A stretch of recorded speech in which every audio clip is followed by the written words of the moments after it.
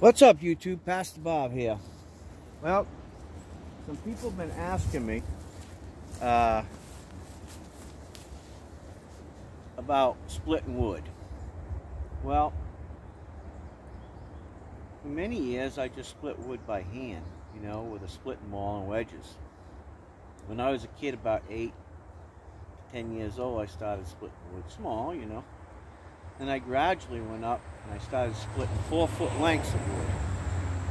And my uncle, you know, would stack it all over his property. We had, I don't know, probably 50, 60, 70 cord of wood. You know, it's hard to tell, but a lot of wood.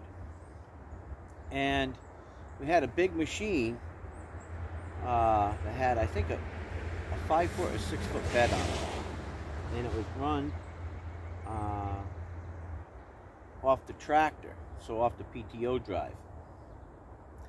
And that's pretty much how I used to split wood when I was a kid. Well, as when I bought this property, you know, I said, well, I'm just going to split it in log lengths because then it's ready to go. Uh, and it's quicker to dry it when it's in, you know, 16, 18, 20 inch lengths. So I was doing it by hand, you know, and it's like my body just can't take it, you know. And uh, I could do something for a short period of time, and then I'm paying for it, even though I don't complain, you know, or you don't see me physically uh, making some kind of emotion. Doesn't mean I'm not hurt. So I decided to go with a um, I bought a Harbor Freight one. It's a pump, like a regular jack for a car or a truck. So you use one of the jacks and it goes slow, one of the arms. And when you use both of them, it goes a little bit faster. But my God, that's a lot of cranking, you know? And I'm the type of guy, I just don't, I buy something if I have a need for it, or if it's going to secure my family or, you know, times of trouble, uh, could make it so that I could barter or trade or whatever with other people. And I was like, you know, I wish God would just put something on sale so I could afford it. So, um, this is called a SuperHandy Patent pending on it. Um, I believe it's made in China. And I bought it off of uh, Amazon. Well, they generally cost about, I don't know, about $1,200 or so, $1,500 when you get done with taxes and all that. Well, they had a sale on it. So, it was like 40% off. And I said, you know what? If I don't buy this thing now, the price is going to go up and I'm not going to get one. And you know what? I've been holding out all these years. So I did. I checked out the reviews online, and one guy, it showed that the um, wedge on this end had cracked up here, and I was like, how in the hell do you do that? I mean, you'd have to be a pretty bad welder, you know and you know a few other things and I said you know what I'm going to do a real review I'm not sponsored by them um, but I believe that everything deserves its just due right to really see does this machine you know work now yesterday uh, I I wanted to try it out before I did any videos and I split a cord of wood and let me tell you was I ever hurt I'm not even lying. So I said, wow, that's pretty good. But one thing that I learned about machinery is once you run it, you let it sit. Sometimes it does different things. So, rule number one, does it pull on at least three pulls? That means the engine's a good engine. Two, are there any leaks in any of the hydraulic? So you got to check that out, right? You got to make sure you purge the pump because sometimes you have to burp it because they'll get air inside of there that'll build up. even though you put anti-foam, anti-foam hydraulic fluid in it, it still gets foamy. I don't care what anybody says. So, just know that. And uh, I figured I'd do a little video for you today and show you, you know, some logs. These are green, some maple, oak, and we'll see what happens. And then if I can pick one of those big bad birds out there up, I'll bring one over and I'll show you how it operates and what it does. So that way you can actually see what this machine will do. So, all in all, at the end of the day, you can pick one of these up for around $750, $800 or so, which is good. They got a, a, a one with a longer um, bed on it. I think it's uh, 28 inches or 30 inches. Same motor and everything. Um, maybe a little bit of bigger piston for, I think it's around almost a $1,000, right? So I said, you know what, I'm going to try it. Now, what I did notice that this pump is an upgraded USA pump on here. This is a, uh, the pump in the control unit. Now, a lot of the ones that I used to use back in the day, they didn't have the automatic reverse, so you had to hold the handle, right? I was like, oh, that sucks, you know, because you want to keep going, and, and that takes more time out of you split. So this one here has an automatic return and um, a 20 inch bed. So for my needs, it's great. For any size stove you're going to do. So with that, I'm going to get started.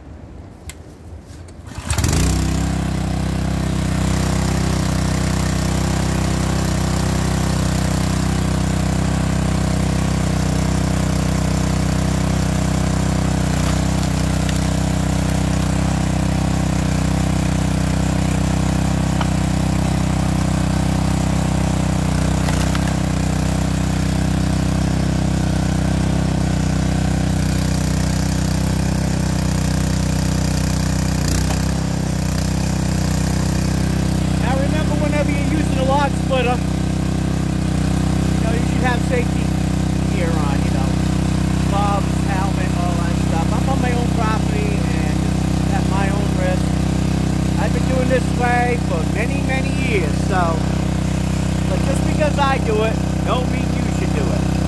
Now, read the safety instructions on any kind of equipment when you get it. So that way you'll be as safe as you can be operating it. Anything can go wrong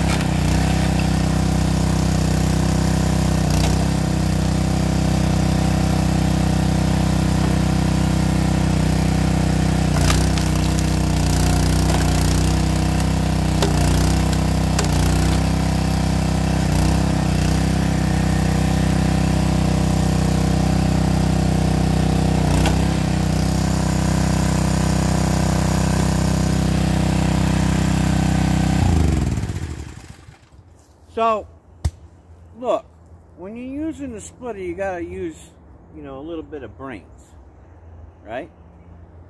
Uh, some people don't. So, let me explain it to you.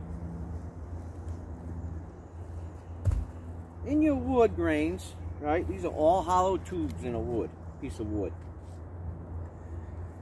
And what you look for splitting on the end of your wood, right?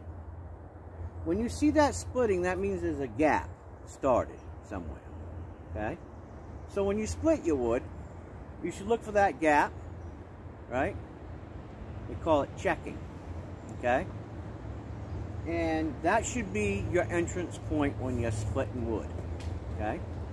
Why? Because it's going to make it much easier on your equipment and it's going to split much easier. On this piece of wood, it actually sheared and cut right through that knot.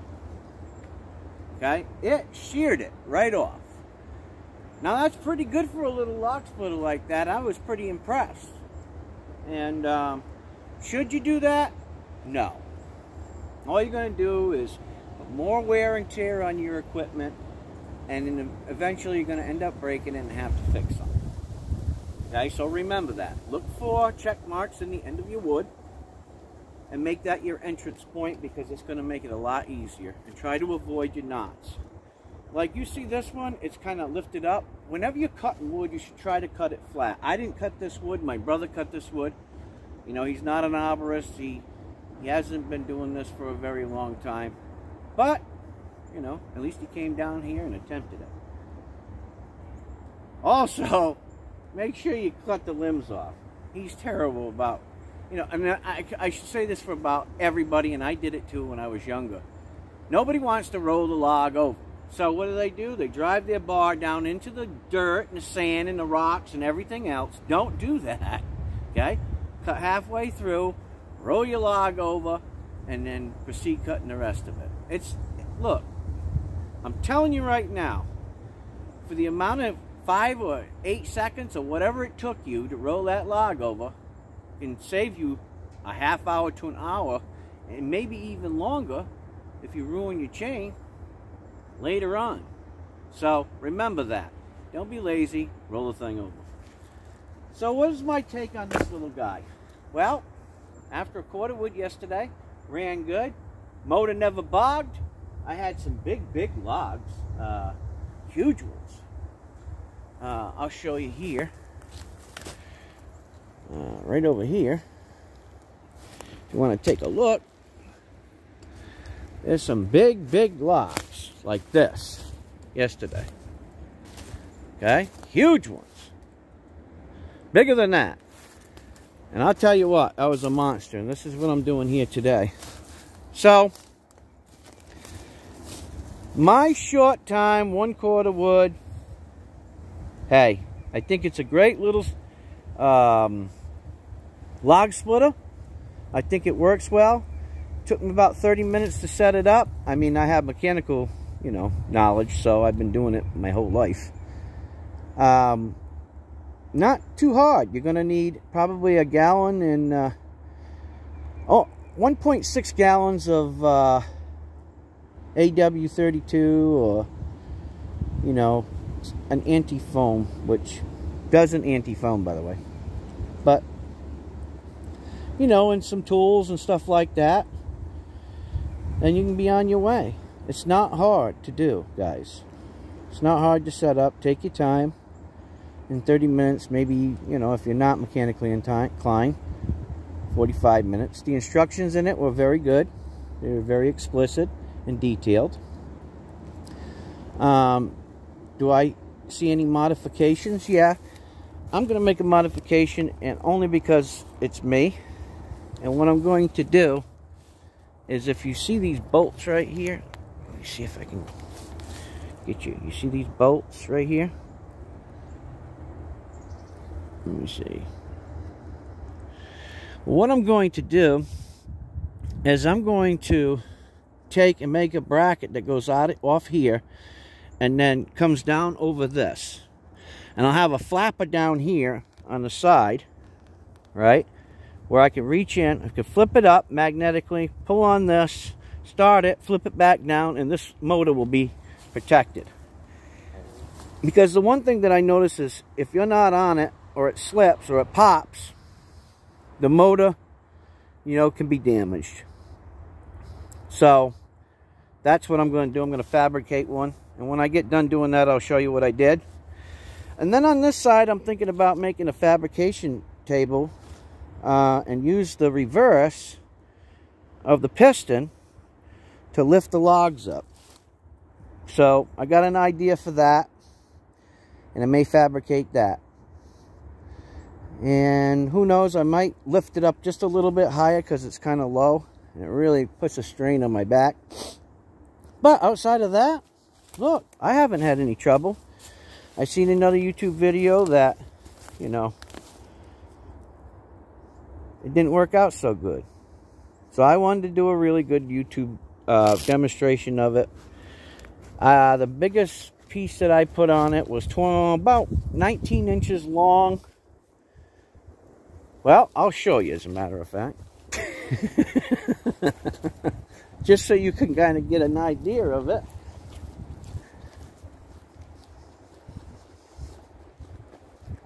Let me show you the size of the log that I put on it. That size. Just so you can get an idea. Them are big mamas. Them are big Marmadukes. So, you know. It can handle it. And you say, well, how is that possible? Well, they already knew that people were going to be out there thinking that you know, they had to break it, right? People got just got to break it. For a couple reasons. One, they may be working for another company, right? And they don't like competition. So if you can put your competition out of, uh, you know, existence, then you make all the money. That's one. Two, people are just boneheads, right? Always trying to break it. I don't understand that. Why do you want to spend you know, $800 on something and immediately want to break it. That doesn't make any sense. Three, they didn't read the instructions and they didn't put it together right. Right? So, you know, you got to put oil in it, right? Then after you put the oil in there, and I would say after you run about two or three cord, change the oil. Why? It's new. The rings have to break in, the cylinder walls, uh, all your moving parts create metals, metal fragments. So you don't want that sloshing around in there in your small engine. So after about two or three cord, you want to change that and put some fresh stuff in. That way you don't have that stuff messing around in there and causing, you know, uh, wear and tear on parts that don't need to be tore. The fluid, I would say the, uh, the uh, hydraulic fluid, I would say probably uh, maybe 50 hours or so. Them are all lines. There's really not a lot of uh, grinding or, or, moving parts like there is in a motor. I mean, there'll be a little bit in the pump. So, you know, maybe 50 hours on it, change it, and then maybe the next change you'd be good at maybe 100 hours or so. I mean, that's just how I'm going to do it. I mean, you can read the, you know, the owner's manual specifications on what they say, but that's how I'm going to do it. Outside of that, you know, I'm glad I bought it. It makes life a lot easier on me. You know, I'm pretty beat up now, so I try to make things a little bit easier. You know, I'm not made of money, so I have to really be conscientious of how I make my purchases. And this purchase was absolutely great. So with that, I'm Pastor Bob. I recommend it. This one works great. Look, anything can have a bad apple, anything can go bad, but make sure you don't rush into it. Read the manual, you know, watch some videos. And if you have any complications with anything, or you're a little bit, uh, you know, scratching the head, wondering, hey, drop a like or a comment down there and, you know, ask me, you know. And when I'm free, I read the messages. I'd be happy to, you know, answer your questions. Don't make them stupid, guys. You know what I mean? if you know the answer and you're just trying to test me, I'm a pretty smart guy, right? I mean, I'm not probably the smartest guy in the world, but I'm a pretty sharp guy. And one thing that I know is when people are asking me boneheaded questions, so don't ask them. You know, some people say, oh, no question is a stupid question. Yes, there are some stupid questions when people already know the answer to it. So, but if you have a legitimate question that you'd like to ask me, and you find me to be, you know, informative, I'd be happy to do that. With that, this is Pastor Bob. God bless. Have a wonderful day. And I'm out of here. See ya.